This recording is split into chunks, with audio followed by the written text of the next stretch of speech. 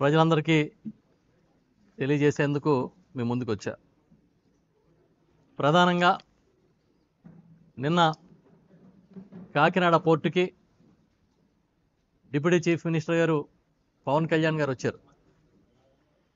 పవన్ కళ్యాణ్ వచ్చి అక్కడ బియ్యం ఎగుమతులకు సంబంధించి అక్కడ ఏమేమి చేశారో ఏ విధంగా అక్కడ అధికారులతో మాట్లాడడం కానీ ప్రెస్ మీట్లో ఆయన అభిప్రాయాలు చెప్పడం కానీ చూసాం. అంతా చూసిన తర్వాత పవన్ కళ్యాణ్ గారి ఆవేదన ఆ రో ఆయన మాటల్లో ఆవేదన కూడా గమనించడం జరిగింది. ఎందుకంటే ఈ ప్రభుత్వం వచ్చి సుమారు ఆరు నెలలు అవుతుంది. ఆరు నెలల నుంచి ఈ పోర్టుకి వస్తానంటే నన్ను ఆపేస్తా ఉన్నారని సాక్షాత్ ఒక డిప్యూటీ సీఎం చెప్పారు. కాకినాడ పోర్టుకి వస్తానంటే ఆరు నెలల నుంచి ఆపేస్తున్నారని చెప్పి ఆయన చెప్పడం విన్నాం. అసలు ఈ ప్రభుత్వం వచ్చినప్పటి నుంచి కూడా బియ్యం ఎగుమతులు కాకినాడ పోర్టులో కార్యకలాపాల మీద ప్రత్యేకమైన దృష్టి పెట్టారనే విషయం అందరికీ తెలుసు బహిరంగం అది.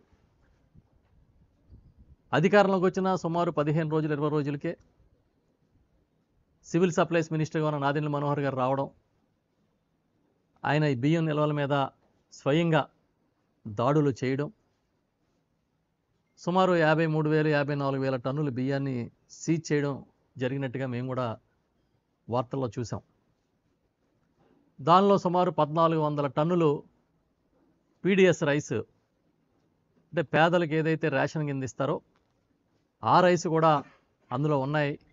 అవి కూడా సీజ్ చేసామని చెప్పినట్టుగా కూడా చూడడం జరిగింది. తర్వాత మళ్ళీ అడపదడప పోర్ట్లో బియ్యం ఎగుమతుల్లో అక్రమాలు నిరోధించడానికి ప్రభుత్వం చర్యలు తీసుకుంటుందనేది వార్తల్లో చూస్తూ ఉన్నాం. దానిలో భాగంగానే సివిల్ సప్లైస్ కార్పొరేషన్ నుంచి ఆ శాఖ నుంచి చెక్ పోస్టులు పెట్టారని. సీజ్ చేసిన బియ్యాన్ని కూడా సివిల్ సప్లైస్ ఆధ్వర్యంలోనే అక్కడ నిల్వ చేశారని ఇవన్నీ కూడా మేము చూస్తున్నాం మీడియాలో. సడన్గా మళ్ళీ నిన్న ఒక ఐదారు రోజుల నుంచి అనుకుంటా మళ్ళీ ఈ వార్తలన్నీ కూడా వస్తూ ఉన్నాయి.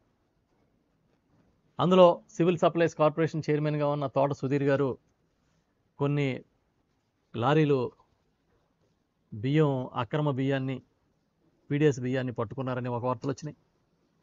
అవి కూడా తెలంగాణ నుంచి వస్తున్నాయని చెప్పి చెప్పినట్టుగా చూశాను.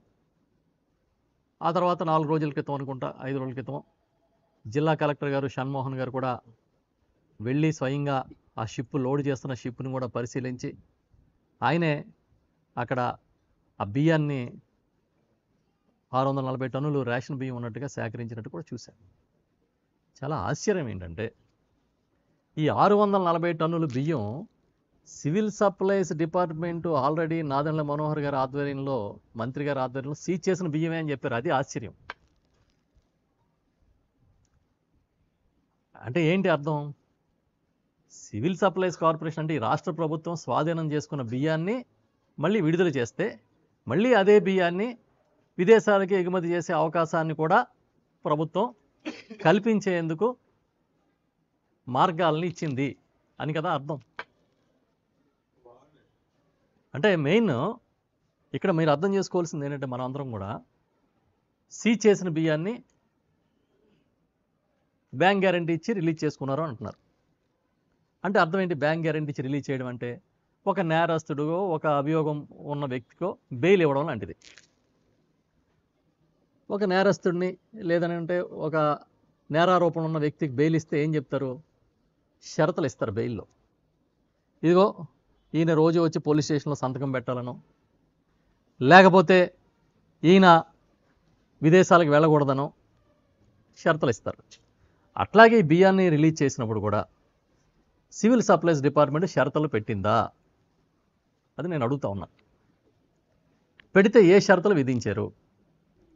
ఇది అక్రమ బియ్యం పేదలకు చెందిన బియ్యాన్ని ఎగుమతి చేస్తున్నారు అన్నప్పుడు మీరు బ్యాంక్ గ్యారంటీ ద్వారా రిలీజ్ చేస్తే ఆ రిలీజ్ చేసిన బియ్యాన్ని ఎక్కడికన్నా ఎక్స్పోర్ట్ చేయడానికి ఎలా అవకాశం ఉంటుంది? మీ దగ్గరే దొంగ సొత్తు దొరికింది. దొరికినప్పుడు మీ దగ్గరే ఆపాలి కదా. ఎందుకు ఆపలేదు? ఆపకుండా అదే బియ్యాన్ని మళ్ళీ ఎక్స్పోర్ట్ చేస్తూ ఉంటే మళ్ళీ వెళ్ళి అక్కడ రైడ్ చేసి పట్టుకోవడం ఏంటి? అంటే ఎక్కడ ఉంది? ఎవరి మధ్య ఈ అవగాహన ఒప్పందాలు ఉన్నాయి? అధికారులు ఏం చేస్తున్నారు? ఎక్కడ ఏ పోర్ట్లో లేని విధంగా మీరు అక్కడ రెండు చెక్ పోస్టులు పెట్టారు. ఈ రెండు చెక్ పోస్టులు కూడా సివిల్ సప్లైస్ డిపార్ట్మెంటే పెట్టింది. మరి ఈ చెక్ పోస్టులు దాటుకుని ఆ బియ్యం మళ్ళీ లోపలికి ఎలా వెళ్ళినాయి? అసలు గొడవల నుంచి రిలీజ్ చేసినప్పుడు దీనికి ఉన్న షరతులు ఏంటి? ఇవన్నీ మేము అడుగుతా ఉన్నాం. అంటే పకడ్బందీగా సిస్టమ్ని రూపొందించకపోవడం వల్ల. మళ్ళీ ఇది జరిగింది. ఇంకొక విచిత్రం ఏంటంటే ఆశ్చర్యకరం విషయం నేను చాలా ఆశ్చర్యపోయాను. డిప్యూటీ సీఎం గారు పవన్ కళ్యాణ్ గారు చెప్పారు నేను వస్తానంటే నన్ను ఆపేశారు రానివ్వలేదు.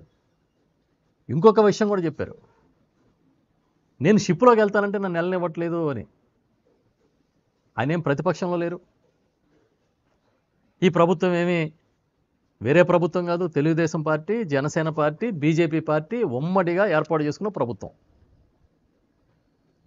ఒక డిప్యూటీ సీఎంని ఆరు నెలల నుంచి ఆపింది ఎవరు షిప్లోకి వెళ్తానంటే అనుమతి ఇవ్వనిది ఎవరు న్యాచురల్గా ఒక డిప్యూటీ సీఎంని ఆపాలంటే అంతకన్నా పై స్థాయి వాళ్ళే కదా ఆపాలి. కింద స్థాయి వాళ్ళు అయితే ఆపలేరు. అంటే ఎవరై ఉంటారని? ఎవరు ఆపుంటారని? ఎందుకు ఆపుంటారని? ఈ ప్రశ్నలన్నీ ఇవాళ సామాన్యులు కూడా వస్తున్నాయి. తప్పు కదా? పాపం ఆయన దీన్ని నిగ్గు తేలుస్తానని చెప్పి ఆయన వస్తాయంటే అలా ఆపాలని ప్రయత్నం చేయడం. అంటే ఈయనకన్నా పై స్థాయి వాళ్ళు ఆపుంటారనేది మనకు అర్థమవుతుంది. ఆ పై స్థాయి వాళ్ళు ఇలా చేయడం మాత్రం చాలా తప్పు. అను అనుమతించాలి కదా. ఇవాళ ఆయన వచ్చారు పాపం. ఆయన చెప్పాడు నేను ప్రెస్ మీట్లో కూడా చూశాను. ఆ షిప్పుల దగ్గరికి వెళ్ళనివ్వలేదు. చిన్న చిన్న డెక్స్ డాక్స్ కూడా వెళ్తూ ఉన్నాయి. మాది ఎందుకు అనుమతించలేదని ఆయన అడుగుతా ఉన్నారు అధికారులని. రఫ్సీ నాకేం కొత్త కాదని కూడా చెప్పారు. మరి ఒక డిప్యూటీ సీఎంనే ఇలాగా అక్కడ పరిశీలనకు వస్తే ఆపితే మిగతా వాళ్ళ పరిస్థితి ఏంటి? ఇవన్నీ కదా ప్రశ్నలు వస్తూ ఉన్నాయి. ప్రధానంగా నేనేం అడుగుతా ఉన్నానంటే ఇవాళ ఈ రాష్ట్రంలో ప్రధానంగా నడుస్తున్న పోర్టులు ఒక ఐదు. ఒకటి విశాఖపట్నం పోర్ట్ ట్రస్ట్ కేంద్ర ప్రభుత్వం ఆధీనంలో నడుస్తుంది. రెండు కాకినాడ యాంకరేజ్ పోర్టు రాష్ట్ర ప్రభుత్వం ఆధీనంలో నడుస్తుంది. గంగవరం పోర్టు కృష్ణపట్నం పోర్టు అదాని ఆధ్వర్యంలో నడుస్తున్నాయి. కాకినాడ సీ పోర్టు వేరే కంపెనీ సీపోర్ట్స్ లిమిటెడ్ కంపెనీ ఆధ్వర్యంలో నడుస్తున్నాయి. ఇప్పుడు ఈ ఈ అక్రమాలు జరుగుతున్నాయి అనేదంతా కూడా రాష్ట్ర ప్రభుత్వ ఆధీనంలో జరుగుతున్న పోర్టులోనే.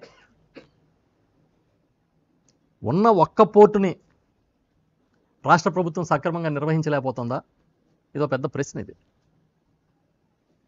ఉన్న ఒక్క పోర్ట్ని నిర్వహించలేకపోవడం ఏంటి? అక్కడ అక్రమాలు జరగకుండా ఆపలేకపోవడం ఏంటి? పవన్ కళ్యాణ్ గారు చాలా పెద్ద ప్రశ్న ఒకటి లేవనెత్తారు. అసలు ఈ దేశ భద్రతకే కాకినాడ నుంచి కాకినాడ ఓడర్ నుంచి ముప్పు ఘాటెళ్తుందేమో అని ఆందోళన ఉంది నాకు అని చెప్పారు ఆర్డియాక్స్ వస్తుందేమో కసపు వస్తాడేమో కసపు లాంటి ఉగ్రవాదులు వస్తారేమో అని.